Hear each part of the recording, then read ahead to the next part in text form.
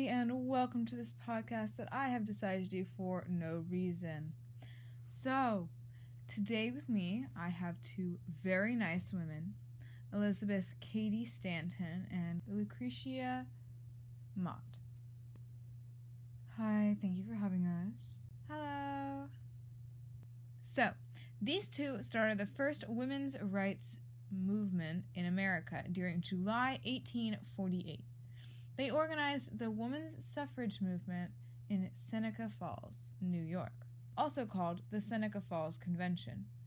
Could you could you tell me what uh, what suffrage means? Well, suffrage means the right to, to vote in political elections. Ah, I see. So, the women's suffrage movement, as I recently found out, was actually called the National Woman Suffrage Association, or or NWSA, correct? Yes. I see. The convention drew over 300 people, mostly women. Could you tell me why you started this movement?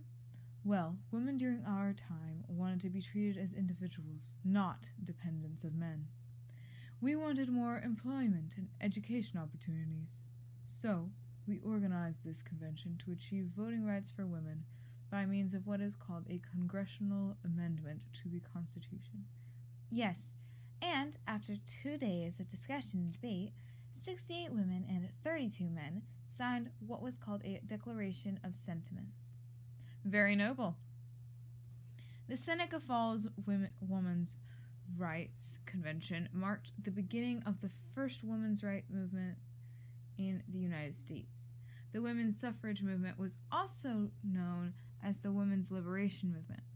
The bill was introduced to Congress in 1878 and finally certified 42 years later in 1920, when women were allowed to vote. Yes. However, we have a few more fun facts about the women's rights movements across the world. So, as everyone knows, the French Revolution was about redefining the nature of political powers and making a new government. But it was, in part, about women's rights. But it was mostly about political and government problems and issues. Interesting. Now, I heard about. I heard some other things that you did, Elizabeth. The reasons that you created this movement. Could, could you tell me more about this? Of course. As an act abolitionist myself, I was outraged when the organizers of the convention denied official standing to women delegates, including, well, Lucretia, who was actually there with her husband. From this experience, the two of us vowed to work for more equal rights for women. We opposed the 14th and 15th Amendments to the U.S. Constitution which gave voting rights to all men but did not extend the franchise to women. Our stance led to a tear with the other women women's suffragists and prompted us to found the National Woman Suffrage Association in 1869. Interesting. Unfortunately, that's all the time we have for today.